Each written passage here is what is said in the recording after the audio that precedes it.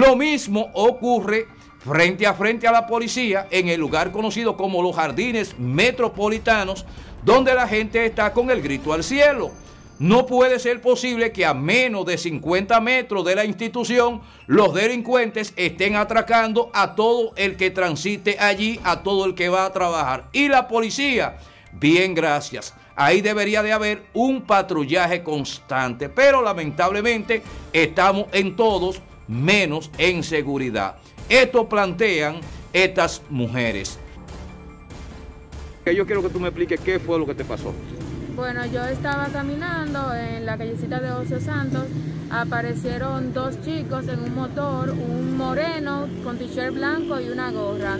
Ellos eh, me sorprendieron, me agarraron el brazo y me quitaron la mochila. ¿A qué hora sucedió esto? A las seis y media de la mañana. Eso es cerca de la policía. Sí.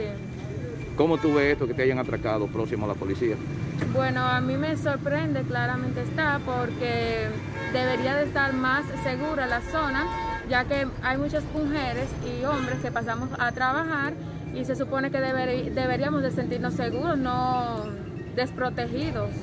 Yo venía el sábado, eran las seis y media de la mañana, eh, por Bellavista, por ahí por el centro, entre el centro y la escuela, ya llegando al supermercado Núñez, saliendo, y había un tipo parado, para mí que era un haitiano, incluso tenía hasta un racimo de guineo ahí adelante, y yo venía pasando, yo pensaba que era un señor que estaba esperando carro, y ahí mismo se me tiró, no sé si tenía un cuchillo o una pistola. ¿Qué te quitó?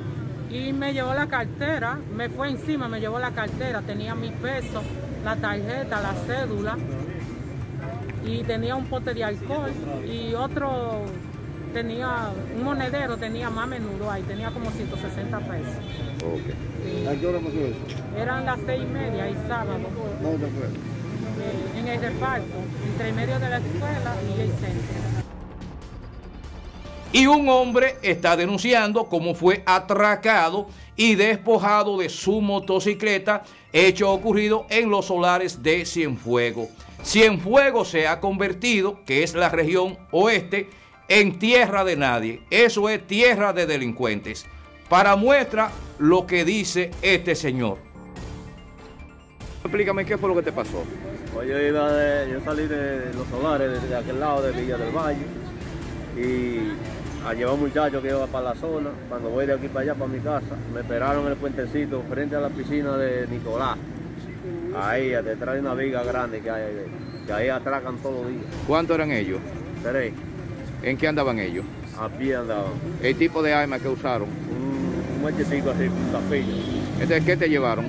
Me llevaban el motor y me llevaron la cartera con todo. ¿A qué hora pasó esto? A las, como a las 5 y 40 de la mañana. ¿Usted iba solo?